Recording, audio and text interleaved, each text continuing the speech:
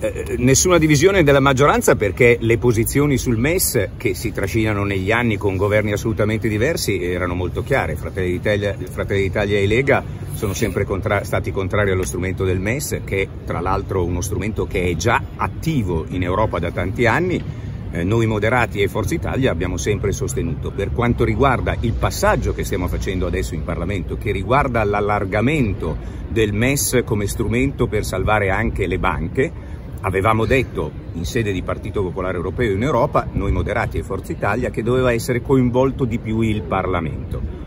E il Parlamento italiano nell'atto di ratifica avrebbe dovuto lavorare per migliorare questo, eh, questo trattato dando questo indirizzo. L'accelerazione voluta dall'opposizione, a cui non interessa assolutamente il MES o l'Europa o il patto di stabilità positivo che abbiamo come compromesso raggiunto in Europa, ma semplicemente mettere in difficoltà legittimamente la maggioranza, ci ha portato alla situazione in cui siamo. Quindi l'elemento più importante che interessa gli italiani e le famiglie italiane è che in Europa si è modificato il patto di stabilità, per i prossimi quattro anni l'Italia può mettere a disposizione risorse per lo sviluppo e la crescita.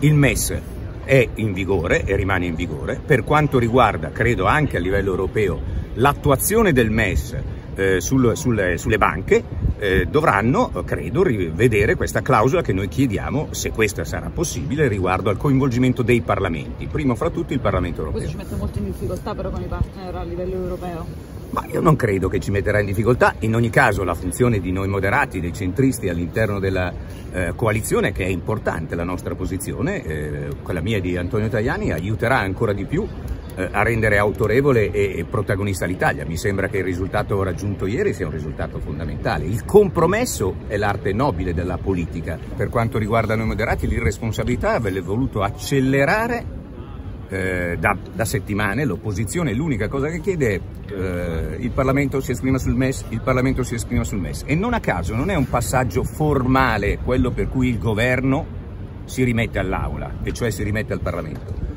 perché i trattati internazionali sono firmati dai governi e vengono ratificati o non ratificati dai parlamenti. Se l'opposizione veramente crede, crede al MES, avrebbe dato il tempo al Parlamento italiano, anche in sede internazionale, di poter procedere ad alcune modifiche che era quello che noi da sempre chiediamo.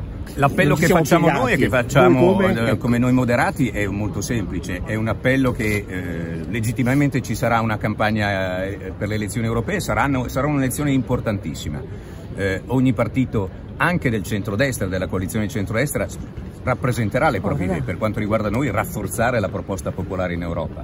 Ma in questi sei mesi la responsabilità che noi abbiamo, e l'abbiamo dimostrato anche ieri, eh, Giorgia Meloni e Giancarlo Giorgetti, la nostra responsabilità è governare, perché se perdiamo sei mesi rischiamo poi eh, di fare dei danni eh, a, a, la, a tutti gli italiani. Per questo, per me, il passaggio di ieri è fondamentale.